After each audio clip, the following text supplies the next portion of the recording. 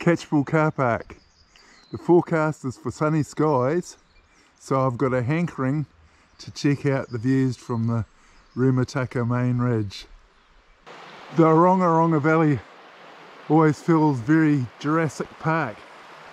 The uh, erosion scars make it sort of feel primitive. My turn off, Goat Stream.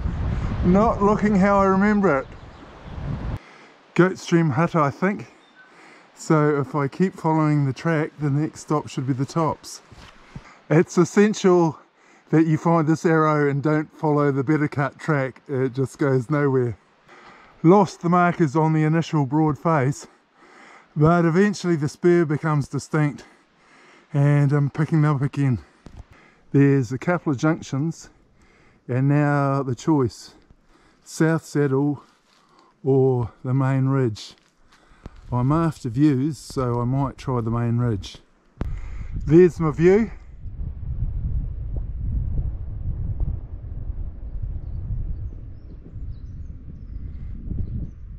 I'm trying a different spur for the descent and the trail is a bit nicer than the uh, goat stream route. The nicer trail starts behind this hut. I'm not saying it's any less steep, but it is airier and better made. And this is the turn off at river level.